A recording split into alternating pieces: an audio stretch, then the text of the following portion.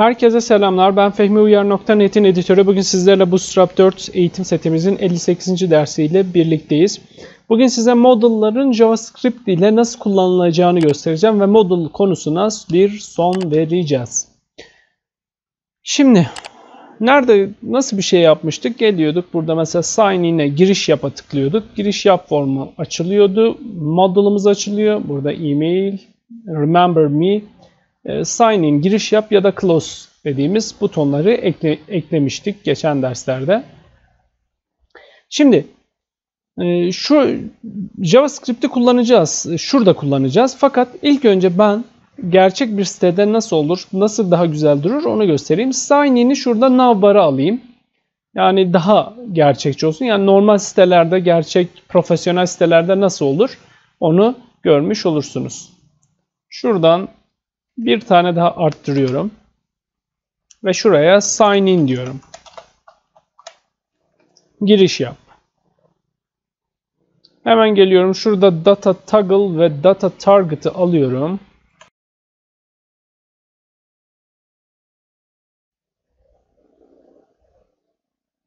Şuraya success yapalım.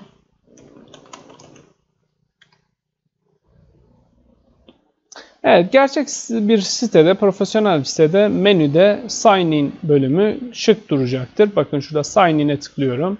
Gördüğünüz üzere model'ım geldi. Yani şurada menüde olsun dedim. Çünkü burada daha sağlıklı olur. Görünüm itibariyle. Burayı da size JavaScript'i göstermek için. Bak şurası data attribute ile çalışıyor. Burası ise JavaScript ile çalışacak. Bakın tıklıyorum hiç çalışmıyor. Niçin? Çünkü data target yani hedef vermedim. Şu attribute'ü kullanmadım ve data toggle attribute'ünü kullanmadığım için bu buton inaktif bir şekle dönüştü. Gelelim şöyle diyelim. Sign in Şunu yanlış yazdık. Attribute. Tamam. Sign in data attribute. Bu yukarıdaki menümüze aitti. Hemen şunu alıp kopyalıyorum.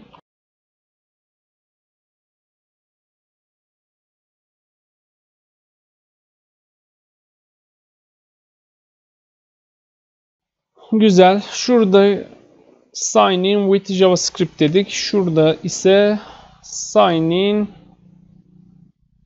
data attributes dedik. Güzel. Tamam. Şimdi bir bakalım nasıl bir şeye dönüştü. Sign in with JavaScript tıklıyorum hiçbir şey olmuyor. Sign in ediyorum. Sign in data attribute. Şu anda data attribute'lerini yani burada Bootstrap'ın bize hazırladığı data attribute'lerini kullanmıyorsanız yani data toggle ve data target attribute'lerini kullanmıyorsanız manuel olarak JavaScript ile ki biz burada jQuery ile kodlayacağız. JavaScript'in kütüphanesi jQuery ile biz buna müdahale edeceğiz ve diyeceğiz ki şuradaki butona tıkladığımızda Sign in with JavaScript butonuna e, modelimiz çalışsın diyeceğiz. Bunun için ne yapacağım? Evet, butona ID vermeyi unuttuk.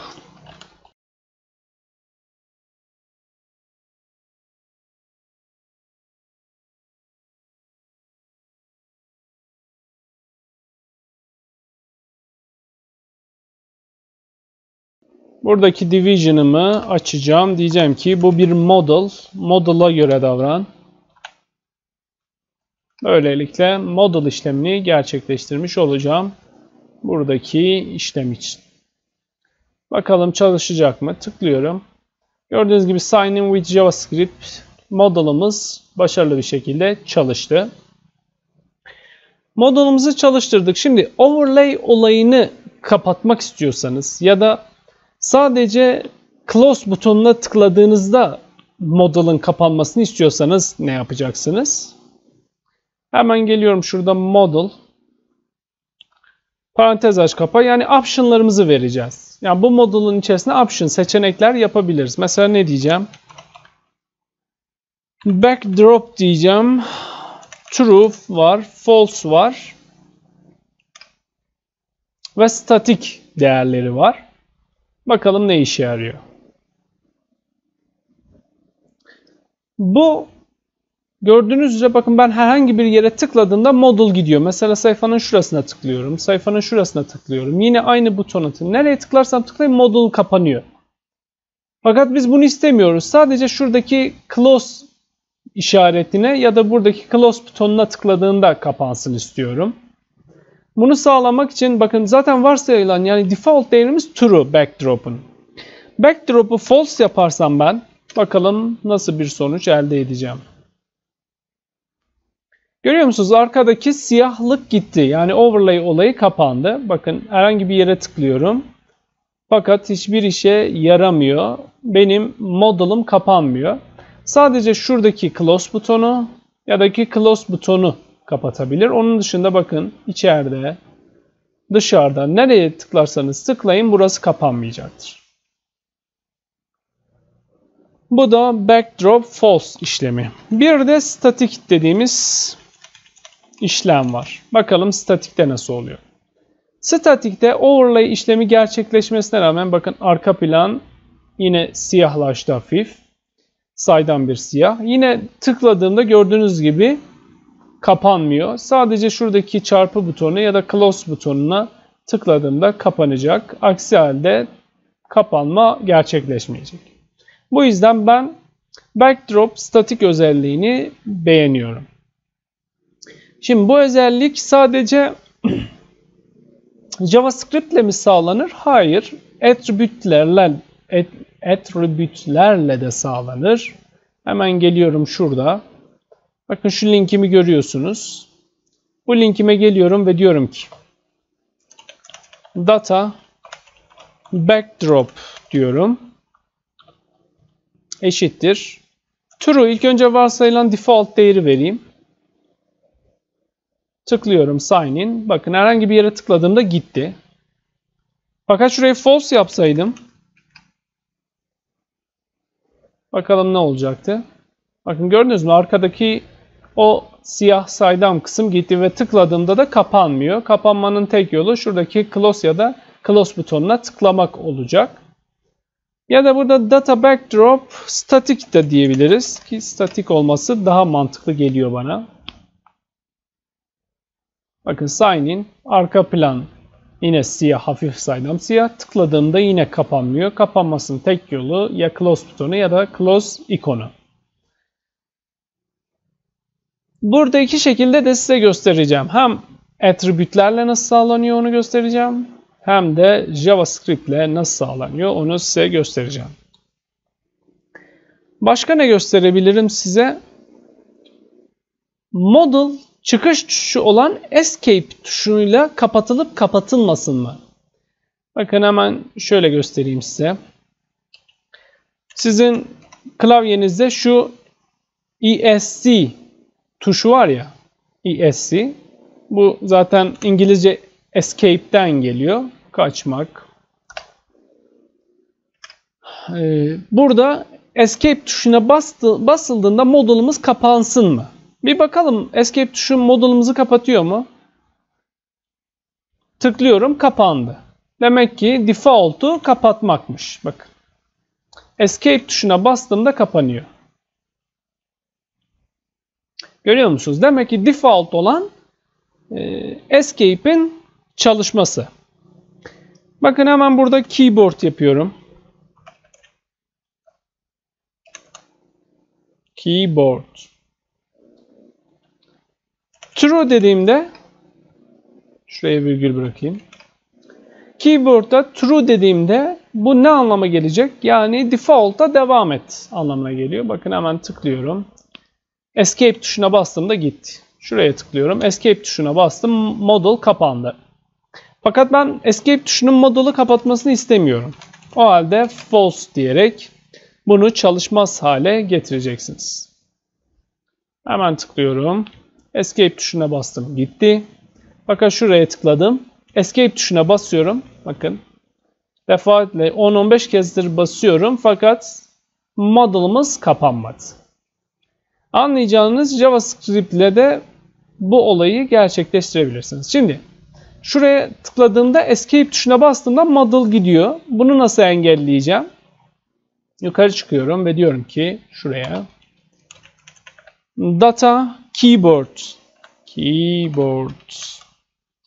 Attribute'ünü atıyorum ve diyorum ki false. Data keyword false. Artık burada da sign e, escape tuşuna bastığımda gördüğünüz gibi model kapanmıyor.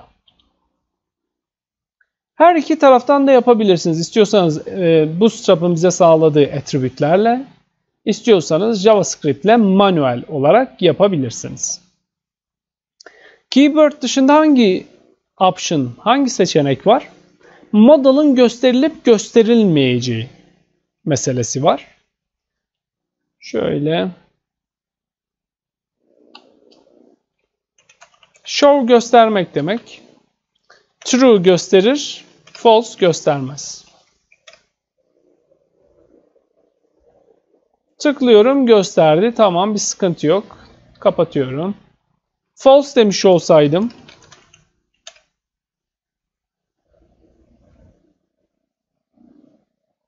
Şurası değil pardon şurası. Bakın tıklıyorum fakat bir türlü açılmıyor görüyor musunuz? Tıklıyorum açılmıyor. Çünkü ben burada dedim ki e, gösterilsin mi diye bana sordu jQuery. Ben hayır false gösterme dedim. Şuradaki virgülleri unutmayın sakın. En sona virgül bırakılmaz. jQuery kodlamasını bildiğinizi varsayıyorum. Şimdi de option'ları değil de model'ların metotlarını görelim. Şöyle şurayı siliyorum.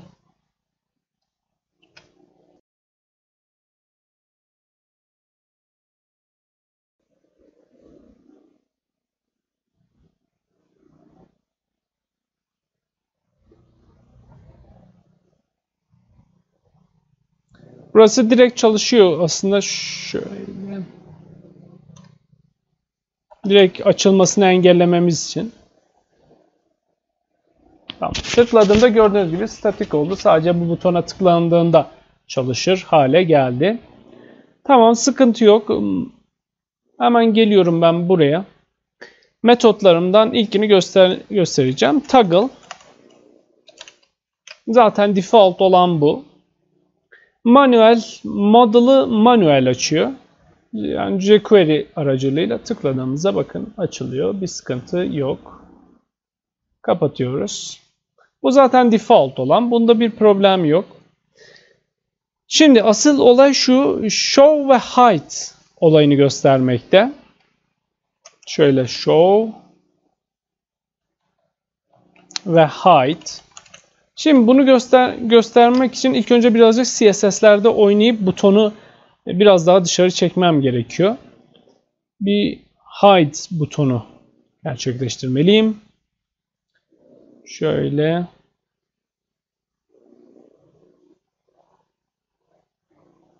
Tamam. Şuradaki style'a yazıyorum.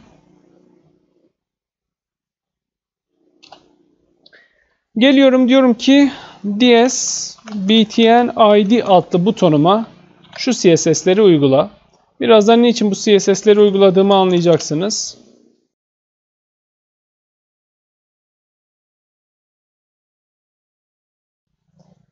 Şu kadarlık CSS şimdilik yeter. Bir şurayı düzeltmelerimizi yapalım. İlk önce show olayını göstereyim ben size. Hemen şöyle tıklıyorum. Bakın show. Ekran açılır açılmaz modulum çalışacak. Hemen bakayım bakın. Görüyor musunuz? İlk sitenize biri girdiği anda hemen modul çalışacak. Sitenize biri girdiği anda modulunuz çalışmaya başlayacak. Şunu şöyle yapalım.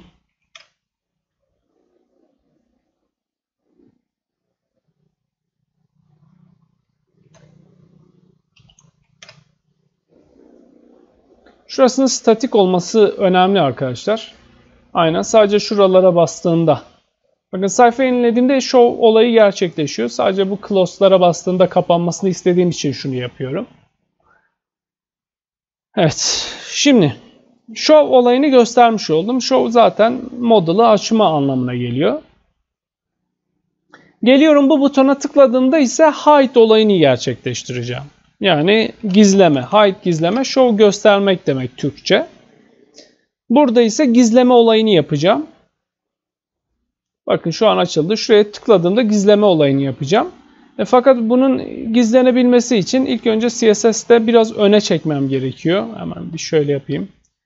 Position deyip absolute yani sayfadan bağımsız bir hale sokuyorum şu anda butonumu. Sayfadan bağımsızlaştırdım. Hemen ardından sayfadan bağımsızlaştırdıktan sonra öne getireceğim. Arkada kaldı. Overlay'in arkasında kaldığı için şu an tıklanabilir durumda değil.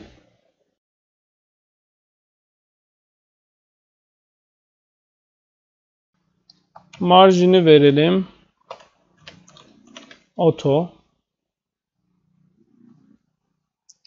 Sağdan ve soldan ortalayalım.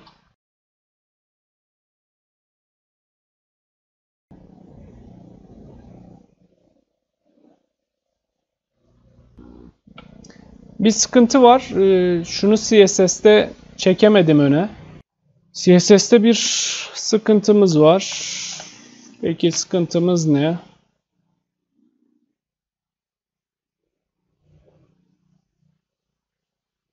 Evet, ID'yi yanlış yazmışım. Ben de bu CSS'i niye uygulamıyor diyorum. Evet, gördüğünüz gibi öne çektim butonu. Üzerine geldiğimde tıklanabilir halde. Bakın, hide işlemini gerçekleştirdi. Tekrar tıklıyorum bakın. Normalde başka yere tıkladığımda kabul etmiyor, görüyorsunuz.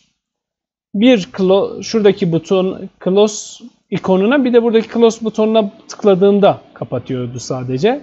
Ama ben ne yaptım? Burada geldim dedim ki jQuery'e dedim ki kardeş burada hide işlemi yapacağım. E, hide işlemi yapabilir miyim? Evet diyorum. Bakın ben burada ilk önce CSS'te bunu öne çektim. Hemen CSS kodlamıyorum. Position absolute diyerek onu bağımsızlaştırdım butonu sayfadan. Z-index e, 9999 diyerek de en öne çekmiş oldum. Buranın overlay'inin ön kısmına çekmiş oldum arkada kalmıyor. Tıkladığımda gördüğünüz gibi hide işlemi gerçekleşiyor. Bu şekilde de hide işlemini gerçekleştirebiliriz. Şurayı şimdilik yoruma alalım. Evet bu CSS'i yoruma aldık. Tamam. Show ve hide işlemini göstermiş oldum. Şimdi model'larda eventleri görelim. Hangi event var onu bir görelim. Şunları bir sileyim ben. Butona tıklandığında bakın click function tıklandığında göstersin. Show işlemi gerçekleşsin. Bakın tıkladığımda show işlemi gerçekleşti. Görüyor musunuz? Benim model'ımı çağırıyor. Burada module'ımı çağır, çağırmasını sağladım. Şimdi geliyorum şuradan jQuery kodlarımı yazmaya başlıyorum. Dolar diyorum. Şuradaki ID'yi alıyorum. Event olayı atayacağım. Hemen event için hangi eventlerimiz var? Geçen ders bir tanesini gösterdim size. Bakın show bu Bootstrap'ın BS'si ve model diyorum. Geçen ders bununla ilgili bir örnek yapmıştım. Show'la ilgili. Şimdi ne iş, nasıl e, bir mantığı var? Nasıl çalışıyor onu göstereceğim. Function diyorum.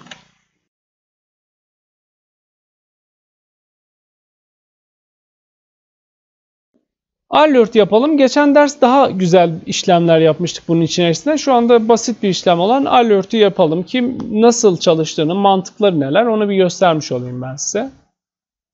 Şimdi bakın ben buraya tıkladığımda gö gösterdi. Tamam. Sıkıntı var. Sorun nerede? Tıkladığımda e, model açılmadan önce bana alert mesajını vermesi gerekiyordu. Evet. Şurada model yerine model yazmışım. Yeniliyorum. Bakın tıkladığımda bakın model gösterilmek üzere ancak henüz gösterilmedi mesajını verdim. Ve tamam dedikten sonra model gelecek. Yani anlayacağınız buradaki show eventi ne işe yarıyormuş? Show Bootstrap Model. Siz model açılmasının açılmadan evvel bir işlem yapmak istiyorsanız show'u kullanırsınız. Ben geçen ders ne yapmıştım?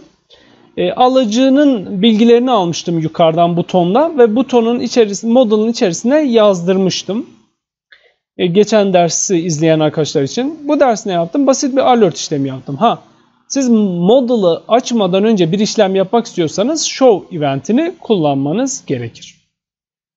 Peki model'ı açtıktan sonra bir işlem yapmak istiyorsanız sitenizde model açıldıktan sonra bir işlem yapmak istiyorsanız burada geçmiş zaman eki e, ne kullanabiliriz İngilizcenin?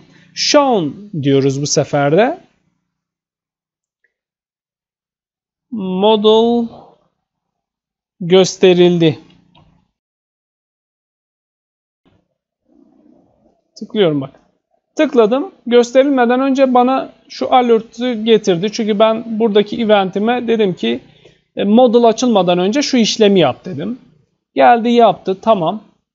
Sonra açıldıktan sonra bakın açıldıktan sonra model gösterildi. Gösterildikten, gösterildikten sonra bu işlemi yapmamı istedin diye bir mesajla ekrana yazdırmış olduk. Böylelikle show ve shown işleminin nasıl yapıldığını göstermiş oldum. Bir de hide ve hidden eventleri var. Bakalım bu eventler ne işe yarıyor? Şuraya hide yazalım. Şuraya hidden.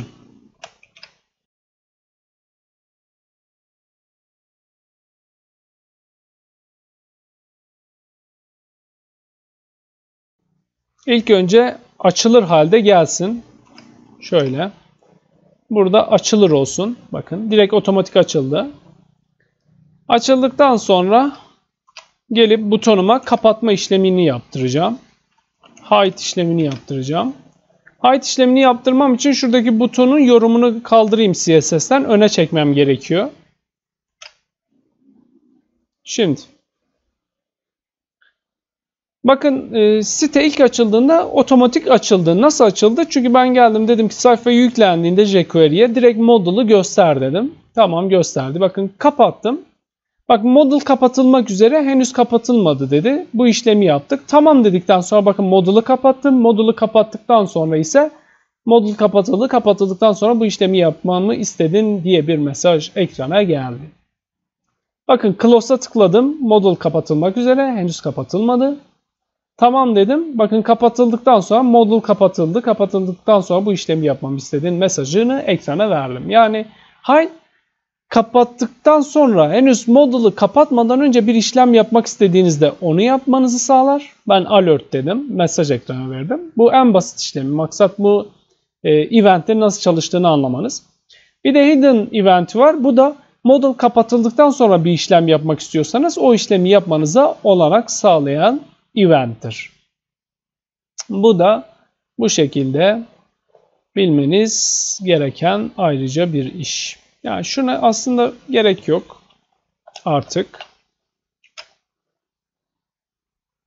Zaten direkt şuradaki close ya da şuradaki kapat işaretiyle bu işlemi yapabiliriz. Gördüğünüz gibi. Böylelikle hide ve hidden eventlerinin de nasıl çalıştığını size göstermiş oldum. Bu derslik bu kadar yeter. Model'larla ilgili anlatacağım her şeyi anlattım. Önümüzdeki ders görüşmek üzere.